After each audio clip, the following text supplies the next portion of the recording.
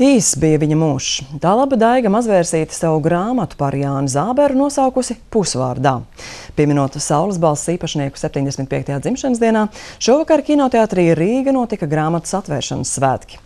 Par Jānu Zāberu un pusvārdu Andrēs Valmārs.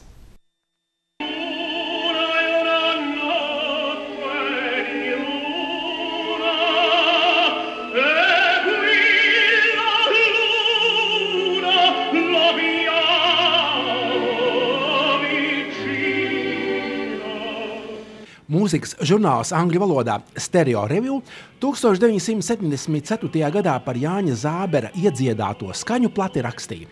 Kas mūs pārsteidz, ir tīrā un mirdzošā liriskā tenora balss, plūstoša bez piepūles, brīva un ar skaidru dikciju.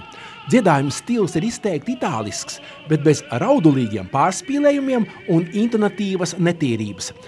Reizēm Zābera dziedājums atgādina jaunā Giuseppes Di Stefano balsi. Ja nebūtu šīs plates, mēs nekad nebūtu uzzinājuši, ka šāds lieliski apdāvināts mākslinieks vispār dzīvojis. Es esmu daudz dzirdējis savā mūžā, dziedātājus, tenorus. Bet tieši dabas dotuma ziņā man liekas, ka Jānis Zābers bija viena no pašām pirmajām vietām. Zvaigznes tīri tāds sensuālais valdzinājums bija vienkārši neaprakstāms. Jānis Zābers uz operas skatuves aizvadīja vien 12 gadus. Tāda pieplūduma operā nekad nav bijuši.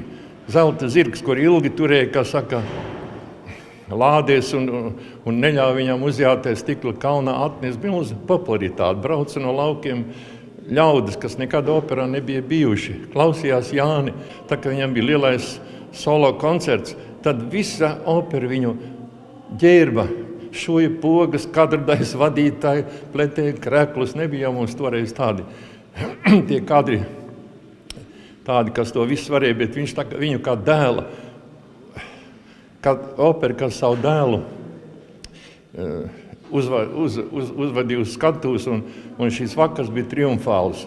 Grāmatā pusvārdā Jānis Zābers Daiga Mazvērsīte iepazīstina ar piecus gadus vāktiem atmiņu stāstiem, dokumentiem, faktiem, apstākļiem un notikumiem. Vai grāmatā arī ir par Jāņa Zābera kolēģi skaudību operā?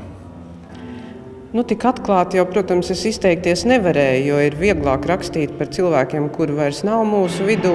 Bet eh, kā, to nevar teikt par visiem viņa laika biedriem uz operas skatuves. Tad es centos ļaut lasītājam nojaust par šīm problēmām, kas bija ar to saistītas.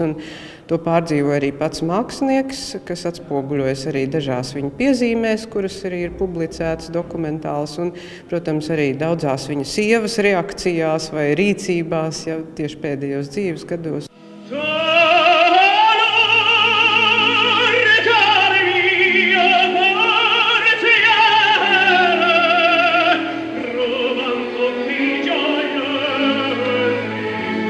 Andrejs Valmārs, Ivans Milovs, Latvijas televīzija.